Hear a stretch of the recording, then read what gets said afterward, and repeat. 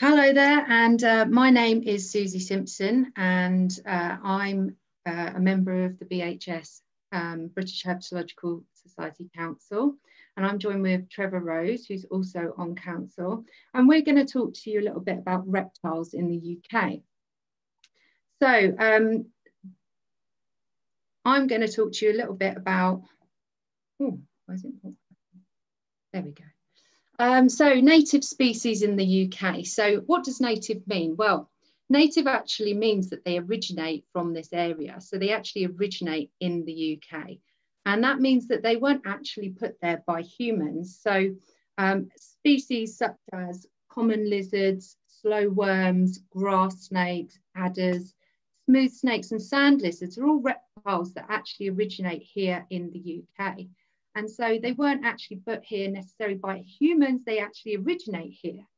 So, um, and these species you may have heard of, and additionally, we actually have UK laws which protect these species. So that means that um, there are laws in place to uh, stop them from being sold or traded or injured or even killed. So we like to look after our species here in the UK.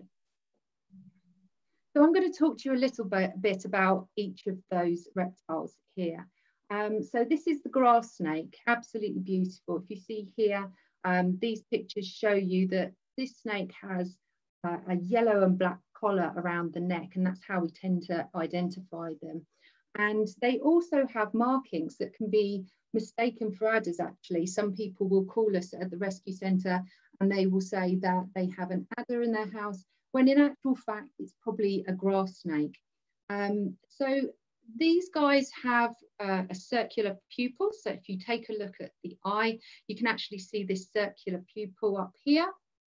And um, they're normally found around throughout the UK and Wales and in wetland areas. These guys love to hang out near ponds and go for a swim. Um, and this also means that they like to eat things like fish and amphibians.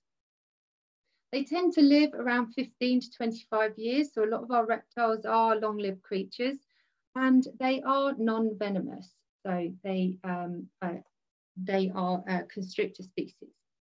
So cool facts about the grass snake, if threatened, they um, tend to pretend to be dead. So as you can see in the picture below, we've actually got a grass snake pretending to be dead. And this is a good defense because if anything's trying to attack them, then they tend to just play dead and hopefully they'll get left alone. But they also do something a lot of snakes will do, they'll musk. And that's, that means that they give off this smelly odor that basically says, leave me alone. And this tends to be pretty um, effective in um, getting away from predators. Then we have our adders, and these are absolutely beautiful. Um, Adders get a bit of a poor rap, um, but they are absolutely incredible. If you look at the patterns on them, um, they tend to have this amazing zigzag pattern that runs down the back. And um, they tend to uh, are different in different colours. So we get this different coloration with the males and the females. And in the bottom picture, you can see a male that's a, a lot paler and grayer. Um, and we have female with this dark brown zigzag. So females can be brown with a sort of dark brown zigzag down the back. And they also have what we call keeled scales. So if you look at the top picture, we actually have these ridges that run along each of the scales. And this is uh, something that, that you can see with various different snakes, but the adder actually have, has these keeled scales. So they're quite small. You wouldn't expect them to be as small as they are. I certainly was surprised when I saw one, um, but they're still quite a stocky um, little snake. So they're still in body size, they're quite stocky. And these are different to our um, smooth snakes and our grass snakes. They actually have this vertical pupil. Um, so you can see this slit in the eye. And so this is another identifying factor with um, adders. They're usually found throughout the UK in woodlands, moorlands and heathlands, and they tend to live sort of five to 10 years. And they tend to eat things like frogs and lizards and newts and small mammals. So animals like mice and voles and birds. So their diet's quite um, varied in that respect. Now, these are our only venomous um, snakes here in the UK. So this is one of the factors that most people um, associate with adders. But there is a cool fact about adders. We actually do, they do a dance. Um, so when it comes to springtime, they like to dance. They go and compete with other males and they tend to do this kind of wrapping dance um, in order to compete. So what I'm going to do, I'm just going to show you a short video.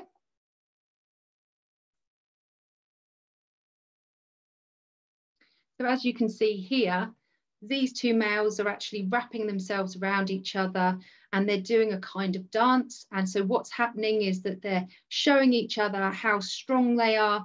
And by doing that, hopefully they outcompete the other male and they're able to get access to females.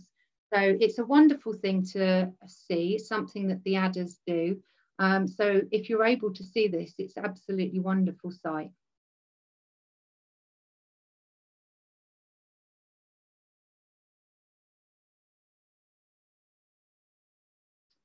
Right, so I'll take you back to my other screen.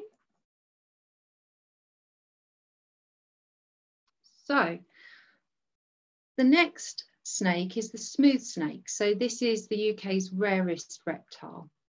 And they tend to average around 50 to centimeter, uh, 70 centimeters in length. So if you imagine a ruler is about 30 centimeters, then you can imagine that these snakes can get up to two or just over two centimeter, two ruler lengths. Um, they are sexually dimorphic, which means they are different in size if they're females or males. So the females tend to be larger than the males. As you can see here, you look at these kind of mottled patterns on the body and they actually look similar to a grass snake, but they don't have that really distinct yellow collar around the neck. And they tend to be found in the far southerly regions of the UK. So we find them more down south. And they can live up to sort of 20 years. And they also eat things like sand lizards, slow worms, and insects. So uh, they tend to live alongside the sand, uh, sand lizards, but they do also um, have them as part of their diet. And again, this is another snake that's non-venomous like our grass snake. So a cool fact about the smooth snakes is that they incubate eggs inside them. So the eggs actually keep going inside the body. And then when they're ready to hatch out, they hatch out and they come out of the snake as live young. So they actually look like mini smooth snakes when they come out, which is very cool. So this is one of my favorites, the slow worms. So is it a worm? Well, I'd say not. Is it a snake? No, it's not a snake either. It's actually a lizard. So it's a legless lizard. As you can see by our picture here, you can see there's no, there's no legs on this uh, animal, but they do have blinking eyelids and they have ear openings. So that tends to identify as a lizard. So if you think about a leopard gecko, they have um, ear openings and they also have blinking eyelids. So these little guys tend to be around 40 to 50 centimeters in length and they're small and smooth and brown. And the females are much bigger than the males, but the males can actually have these really wonderful blue spots down the side of them. So that's absolutely fascinating if you see a slow worm, a male slow worm with blue spots. They're found throughout the UK in grassland, moorland and heathland, and they average about 15 to 20 years, but there has been a record of 54 years old, which is absolutely incredible. Um, they will eat things like invertebrates, so they love to slurp up a few slugs, snails, spiders, and earthworms. So that's a, a, nothing like a preference for them, but maybe not so much for everybody else. Um, and these little guys, if they're attacked, they actually shed their tail. So they can actually drop part of their tail in order to distract whatever's trying to attack them. But the great thing about this is it does actually grow back. The only thing is once it grows back, it doesn't actually detach the next time. So very cool fact about our slow worms and dropping their tail. Um, the common lizard. Now this little lizard, so this is a female here. She's got these brown side patterns and the long line down the back. Um, and they're very curious little creatures. Um, They are they do tend to be found in most places in the UK. They're commonly seen in variations of brown, but can vary greatly in their coloration. And they're around about 10 to 15 centimetres long, so they're about half a ruler length. Um, but they are quite small, you know, trying to find them, you have to really look a little bit harder. As you can see in the picture, this female sitting on a leaf um, in the dappled sunlight, and so would be quite hard to see if you weren't sort of staying still, listening, listening to the rustling of the leaves in order to see where they are. So they're just trying to do some cryptic basking and get some sun. They're found throughout the UK and Wales in grass, grasslands, moorlands and heathlands, and they tend to live probably about five to six years. And these little guys will eat things like spiders and grasshoppers and flies. And I've I must admit, when I've been out surveying, I've seen these little guys hunting for flies. So cool fact about the common lizards, they can drop their tail too. So they're a lizard just like the slowworms, but theirs, um, can, theirs can grow, regrow just a bit shorter. So if you can bear, I don't know if you can see in this picture, but actually this lizard has actually lost its tail. So you can see here the end of the tail. Um, so it can regrow a bit, but it will just be a little bit shorter. And with a lot of lizards, the pattern is nowhere near as um, striking as when it's first grown. So these are our common lizards. And this is another one of our rare reptiles in the UK. So this is the UK's rarest lizard. And these are sand lizards. Now, the males are absolutely beautiful in spring. As you see, the top right picture actually shows you this wonderful coloration, green coloration. The females tend to be brown um, with dark blotches along their back. And obviously the males are quite different. And if you see down in the bottom picture, that's actually a young juvenile um, sand lizard there. They're restricted to a few southerly areas of the UK, same as the smooth snake. They're um, down in the south and they can live up to 20 years. And they are quite different. They like to eat fruit and flower heads, but they also like to eat slugs and spiders. And that seems to be something on quite a few of the reptiles menus we're talking about. So cool facts about the sand lizard. Sand lizards like to dig their own burrows. So these can actually be around a meter in depth. So they can actually dig quite far down. And as you can see in the top picture, this is a hole with a 2p next to it, so you can see what kind of size we're looking at. They're also um, the only egg-laying native lizard in the UK as well.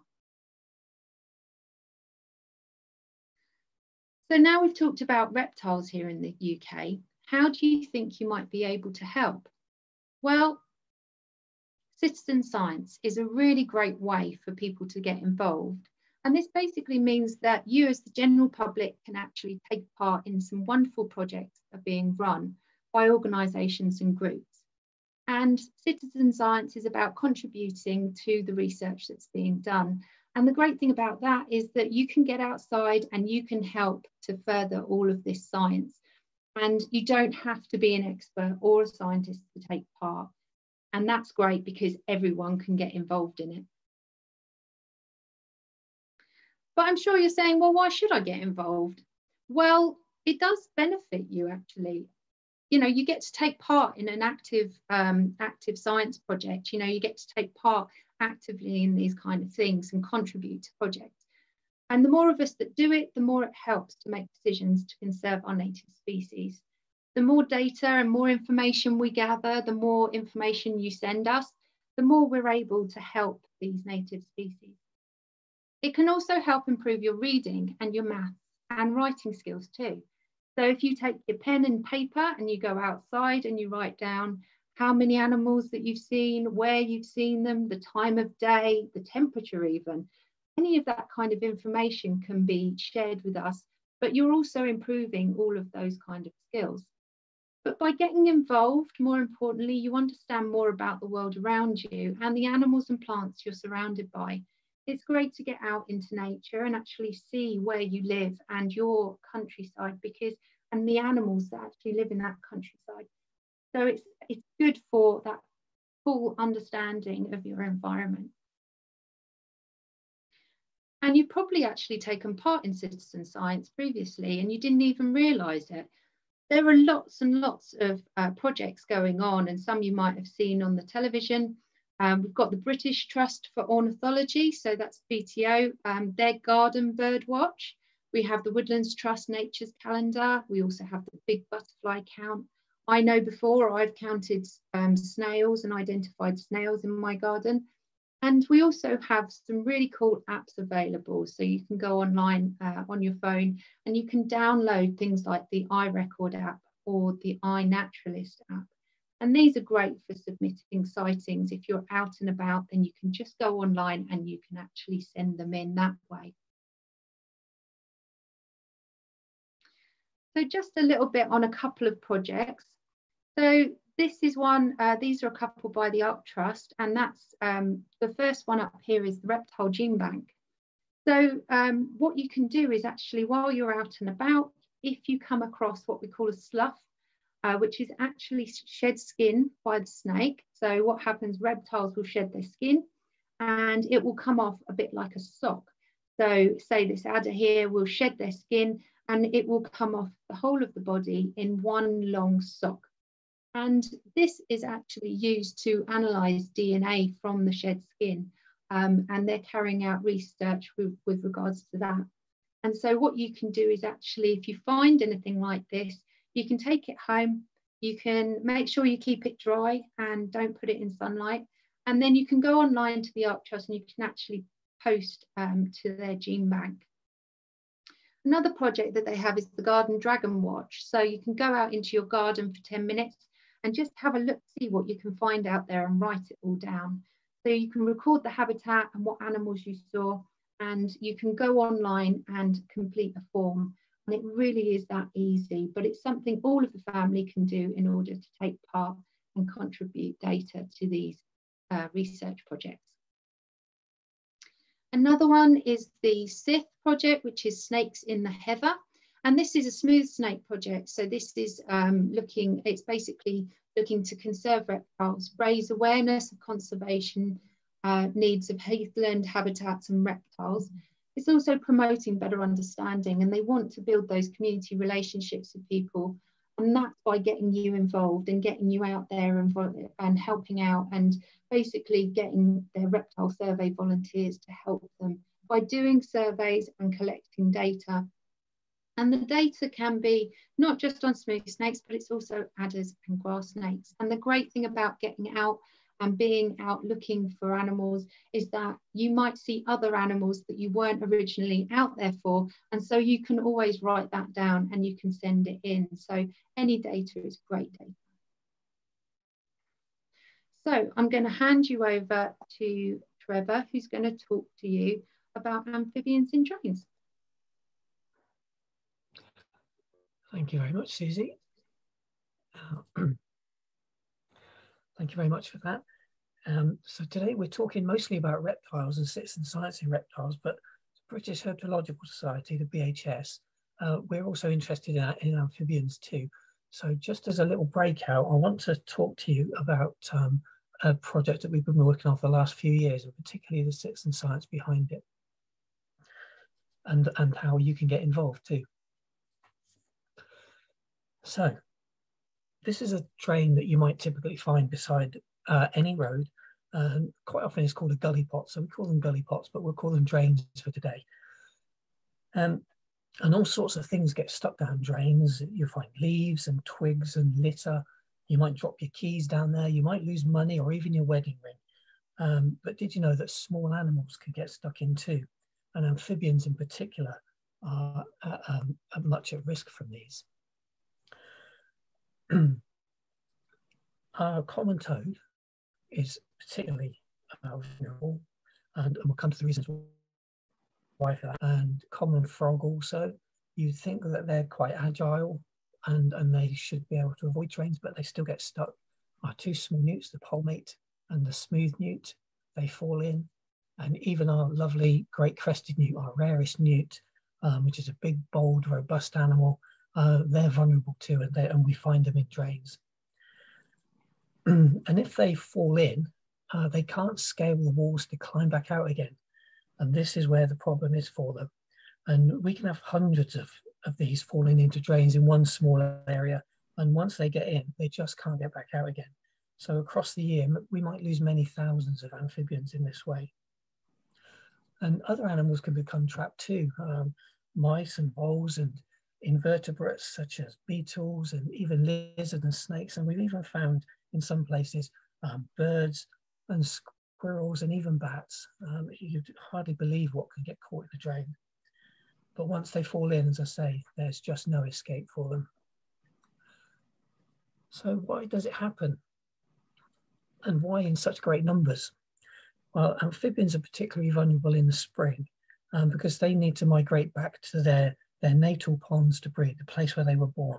And they might travel long distances to get there. And quite often it takes them across roads, such as the one you see here. And this is quite a typical scenario. We've got quite a new housing estate. Um, in front of us and to the right hand side, there's lots of new houses with gardens. And beyond that, there's countryside and woodland. And to the left of this picture, there's a pond where the uh, amphibians all want to breed. And in the spring, they leave their hibernation places, and quite often these are in these gardens, uh, and and they head head for the uh, the lake. And here's Mr. and Mrs. Toad trying to get to the lake. Um, they come to the curb on the other side of the road, and they don't know what to do. And eventually, they'll they'll end up next to a drain, and sadly, they'll fall in. And where this happens, it often happens. Uh, sorry, in, in places where, where this happens, it's often known to us. Um, and we know they cross the road in large numbers. And where that happens, we can um, have these registered as proper crossing sites. And uh, you can do that with um, a Froglife register. Uh, and with their permission, we can then get signage for the roads, which slow people down to stop the, stop the amphibians getting squashed. And it also means we can have toad patrols. And here's a group of people uh, going out after dark with their torches and their buckets, picking up the toads. And, and this can be part of a citizen science project for you. You can join a toad patrol and you can record the numbers of toads rescued. You could maybe even join, uh, maybe even organize a new toad patrol um, if you know a place like this where you see lots of amphibians crossing, but nobody maybe knows about it too much yet. Um, and this is great for preventing toads from getting squashed by cars, of course. But what about the amphibians which cross the road on their own when no one's around. As we saw before, the animals, um, the amphibians don't know what to do when they come to a curb. And they might they might try to scramble up, but they just can't get a grip. And so, and especially when they're particularly small like this one, they just can't get up the curb. And they so they tend to follow the curb along to and they come to a drain. That's the time when they when they're in danger and they fall in. So as, as young citizen scientists, what can you do? Well, the first thing we can do is find your dangerous drains, find where the biggest problems are. So you could you could be checking drains near your school or your home just to see if there are amphibians trapped there. Um, you might need a strong torch to look down the dark hole. It's quite difficult to see in a, in a drain in the daylight, but a good torch will help you. But don't try to lift the cover just, just peering through the top. And you can count what you see and record your findings. Um, and amphibians only normally survive in a drain for a few days um, before they unfortunately die. So if you check weekly, you can be sure that each time you check, any new amphibians that you find are probably have probably only just fallen in in the last few days. But do remember, roads are dangerous places for humans to be too. So make sure you wear high visibility vests maybe take an adult with you or, or and certainly work from the pavement don't step onto the road and so what can we do to help the amphibians that fall into drains? Well one great thing is that amphibians have pentadactyl digits and that's a scientific way of saying that they've got fingers and toes that move like ours. So that means uh, they can grip and grasp things just as we do. So uh, so what we can do is give them a ladder to climb back out. Um, and our ladders are, are, a metal frame, so they're nice and strong, and they've got a special plastic mesh to make it easy for the amphibians to hold on to. And it just stands inside the gully pot, just like a, a ladder would against a wall, no fixings at all. And, and it doesn't prevent the drain from doing the job that it's supposed to do, which is obviously take rainwater, rainwater away. That's obviously very important that it doesn't get blocked. And I'm going to attempt to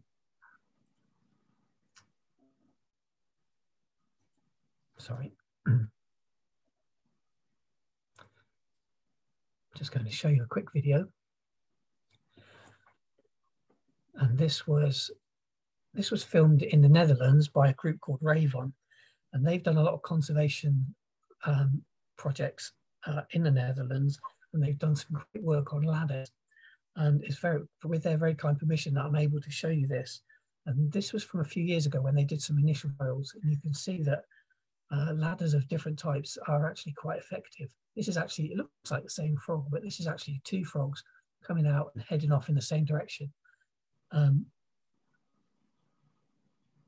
and so, and, and it was the work that, um, the work that uh, Ravon did, which inspired us to create the ladders at the BHS. And we, have already got hundreds of ladders all across the UK. Um, and across 90 different sites. And we've probably installed nearly 2,000 ladders now at those 90 sites. Some of them are actually in Sussex and actually quite near Eastbourne. Uh, but we do need many, many more. We work across the UK and there are millions of drains out there. And every year they catch amphibians. And so every year we have fewer and fewer amphibians left. So we have to try to conserve them. And with a ladder, amphibians can help themselves they instinctively climb to safety, and they're always they're always very happy to to fall into drains where we where we've installed a ladder. They they climb out surprisingly quickly. And if you look very carefully at the centre of the picture on the right, you'll say that Mr. and Mrs. Toad. You'll see them that Mr. and Mrs. Toad that fell down the drain earlier. They're actually making their way back to the surface on the ladder. and how can you make a, a difference? So in summary, you can check your, check your drains, do it safely, and record your findings. If you do find amphibians in drains, you can tell your local amphibian and reptile group. I'm sure they would love to be involved. Or you can report it to your local environmental or biodiversity officer, you can make contact through your local CAB. You can just contact us at BHS and we'll put you on the right path and our contact details are obviously on our website. You can actually make a, pro a school project out of it. Um, you can get some great data from doing projects like this. You can do all sorts of things with that data. If you need a few pointers, we did a study paper a few years ago, which you could base your project on. And if you want a link to that, um, please do feel free to contact us. We'll, we'll share that with you.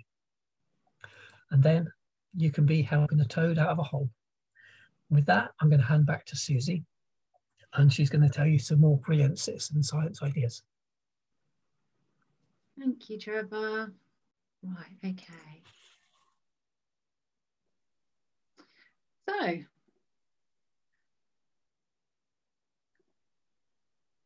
there we go. So we've talked a lot about native species. So what we're going to do now, I'm going to talk about non-native species. So I've put here, sorry, are you lost? Because in actual fact, they probably are a little bit.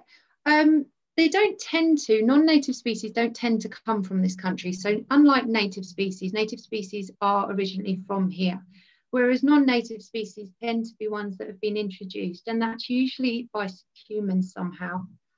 So animals such as wall lizards, green lizards, red-eared sliders, yellow-bellied sliders, and much, much more actually find their way into the UK. And they can get here in different ways. So here on the right hand side, you can see a red-eared slider.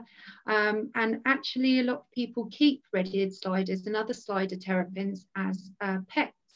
And so sometimes they might escape um, or they may even be released out into the countryside, um, which is just to note is not allowed. You're not to release anything into the UK countryside.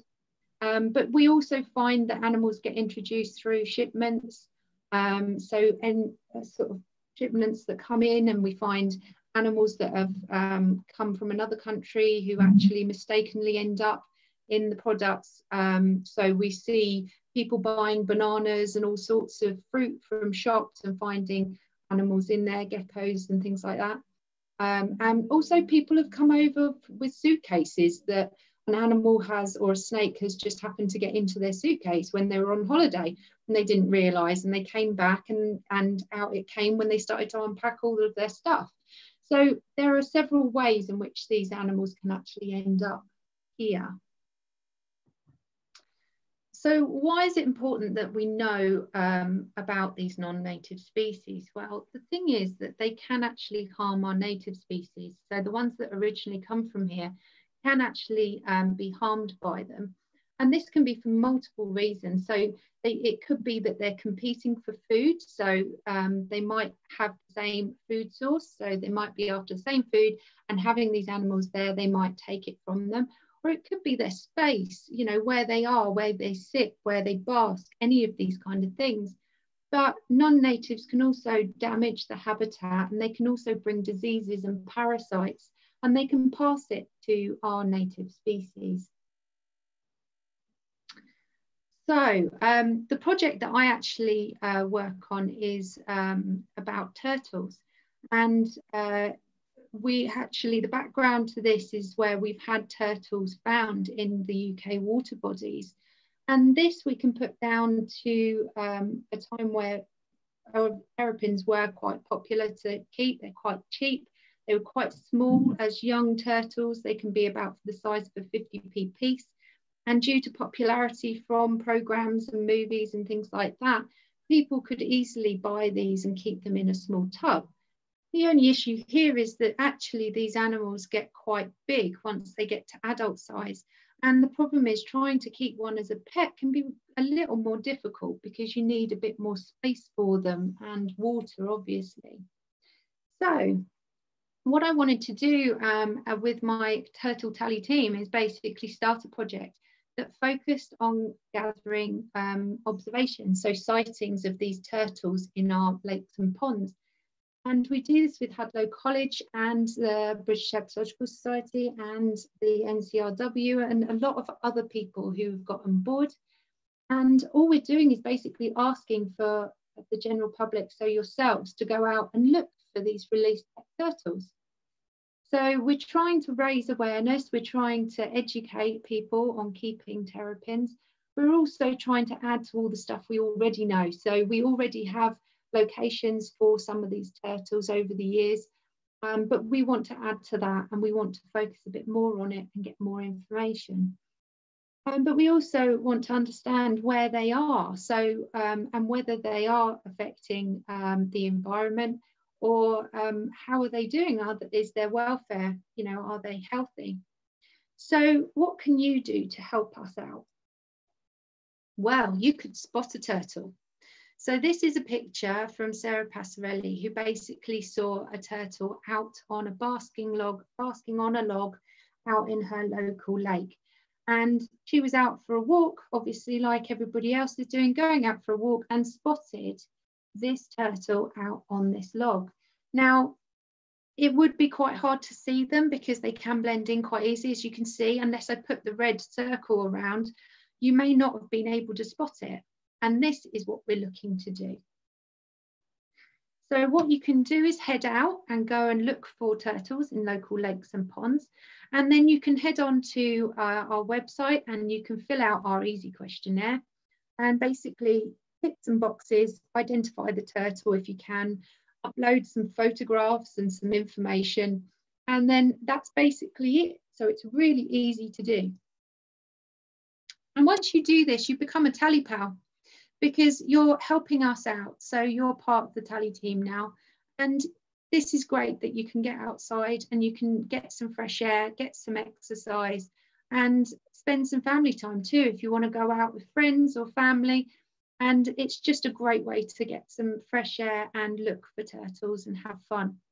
And the best time of year to do this is probably between March and October because turtles tend to hibernate. So what they'll do is they'll disappear over the winter months, hunker down, and then they'll come back out in the March time and we'll start seeing them coming out to bask on logs again. So this is probably the best time for you to go out and have a look.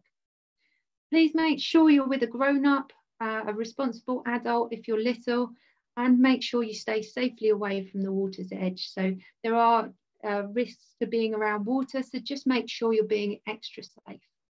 And make sure you're uploading your sightings to the Hadlow College webpage, or you can now go to our new website at www.turtletally.co.uk. And just a note on this, there's no touching of turtles. So um, we do not want anybody to be disturbing the turtles or handling them. It is just an observational study. So it's just about looking for them and writing down where you see them. And please make sure you stick to government COVID-19 guidelines with regards to safety. Make sure that you're just being careful and keeping safe. So just to show you what we learned from the last year, this year we actually found, you can see all these orange dots on, on the UK map, and you can see this is where all the turtles were that we got recordings for. And if you see, there is a turtle that's actually up in Scotland, um, but we also have a turtle down in Cornwall, down near Falmouth. So they're all over the place. So I would get outside and see if you can find one. You may not think there's one nearby, but I guarantee you probably will see one. So they're mostly red-eared sliders, which is what my little friend up here on the left-hand side is with that big striking red um, stripe down the side of the head. But we also get some odd um, turtles that get released as well that you probably wouldn't expect to see. And three of our sightings have been soft shell turtles this year. And if you don't know what a soft shell turtle is, I'm going to show you. And this is a soft shell. So these are absolutely amazing creatures and they're quite big and they've got that pointy nose as well. So actually when you see them in the distance, um, they look quite odd, but um, and they certainly have a distinct silhouette. But these are absolutely incredible creatures, but you may see um, something other than those red-eared sliders out on logs. So what I'd like to say is basically thank you and good luck with your citizen science project, whatever you decide to um, take part in. Any contribution is always welcomed by anyone um, running their research projects. So do get involved. And also, if you're crazy about reptiles like we are, then and you're aged between 5 and 17, you can sign up to our Young Herpetologist membership for free.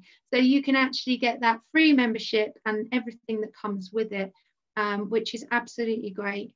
Um, you can take a look at our membership page on the BHS website and you can click on uh, the links there and you can download a form to fill out in order to gain that Young Herpetologist membership. Okay, so what we're going to do now is we're going to take a look at the chat. We're going to see what questions we've got here.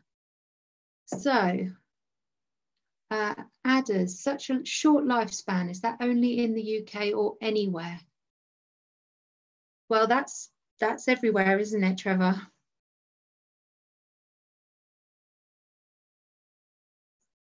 Oh, your, your sound needs to go on, Trevor.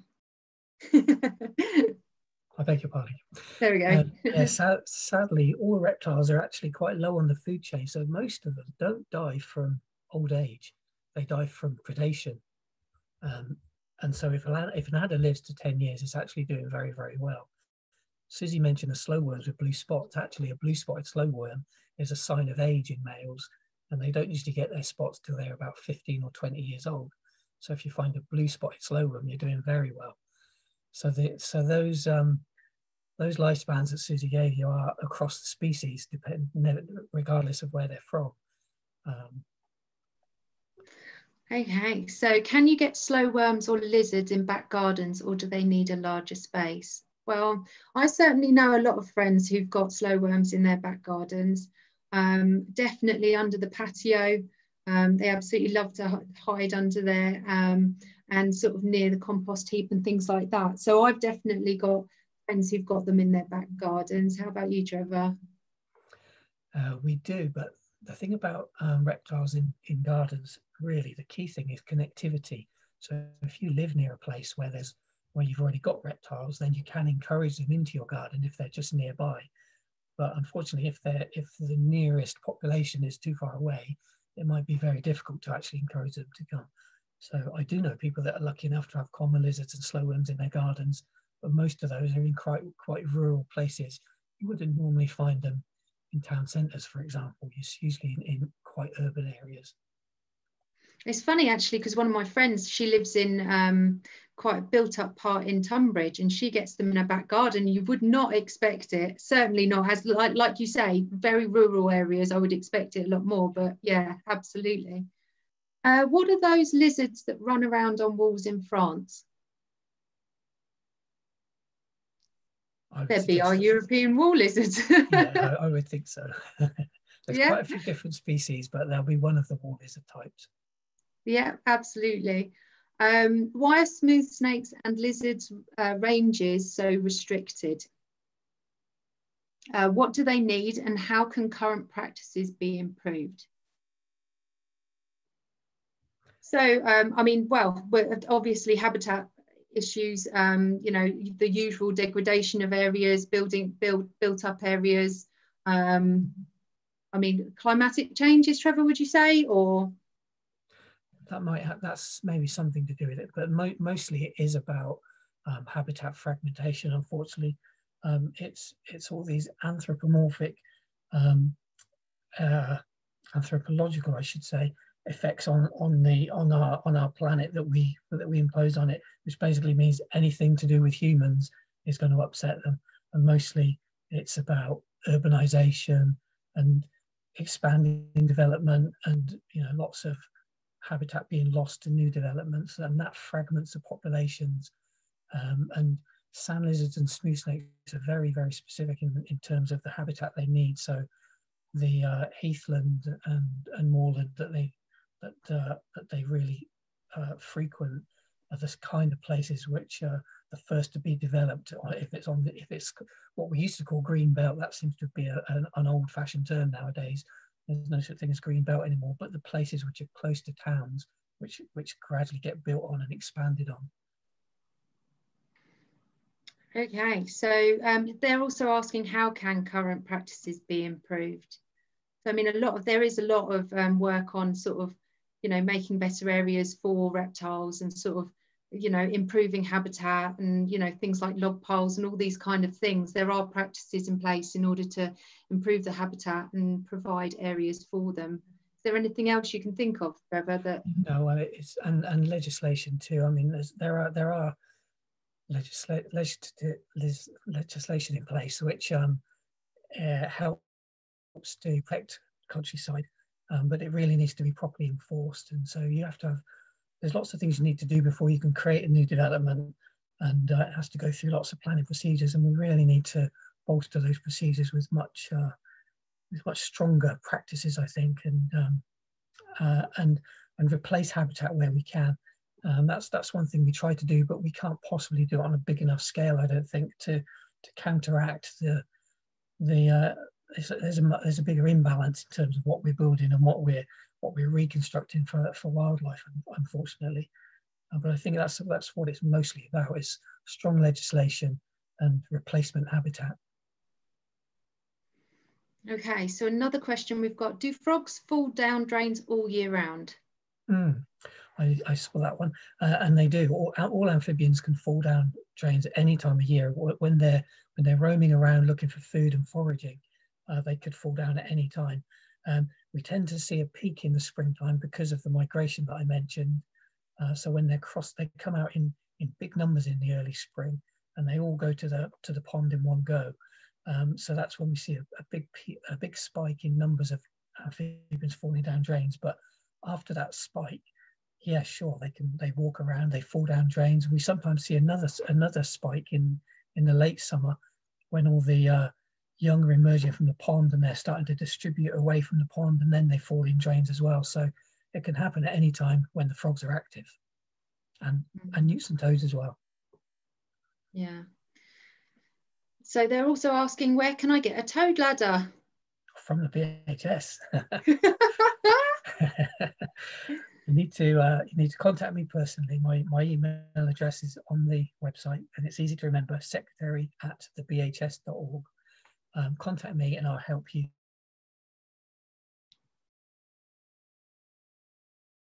Oh, I think we've lost. Oh, there we go.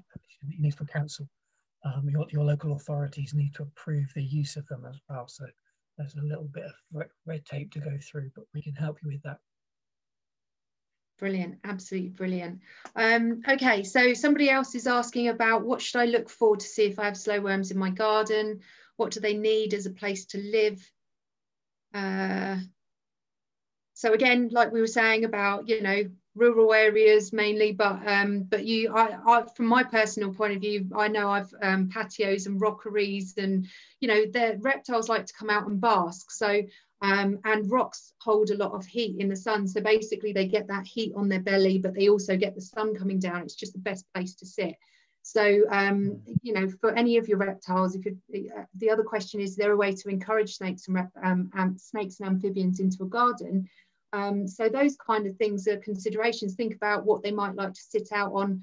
Um, and you do get these cryptic baskers who sort of have doubled sunlight. So don't think they just will haul out in the middle of full sun but um, things like rocks, you know, places they can pull out, you know, pull out on um, and get some basking rays in that kind of morning time to heat up mm-hmm. so that they get optimal temperatures and they're able to start um, looking around for things to eat. Um, but like I say about habitat changes, so encouraging snakes and amphibians, I say there's lots of different ways you can do that. I think a couple of other talks have talked about ponds, building ponds in your garden, small ones, big ones.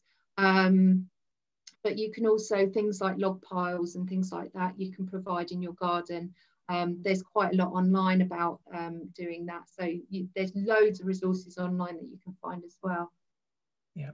Maybe i could just add as well if your garden's big enough and you can afford to do it just leave a leave a, a portion of the garden fairly wild and try not to uh, try not to uh, manicure it too much. Just literally let it grow wild. And um, if it's in a sunny spot and you put down a piece of corrugated iron or just a piece of roofing felt or even a piece of carpet, um, not too big, a couple of feet square, um, about 50 centimeters square, just press that down into the vegetation and just leave it permanently and lift it up occasionally. That's how you might find if you've got slow worms or not, because if, if, if they are there, those are the places they like to hide. And a compost heap as well. If you've got a compost heap, uh, put a piece of roofing felt on the top of it and um, grass snakes especially love to go under there. And uh, if you're lucky enough, you might even get grass snakes laying their eggs in your compost heap if they're, if they're around. And having a pond is a brilliant idea. Pond will pond a pond will bring in amphibians, and amphibians will bring in grass snakes for sure.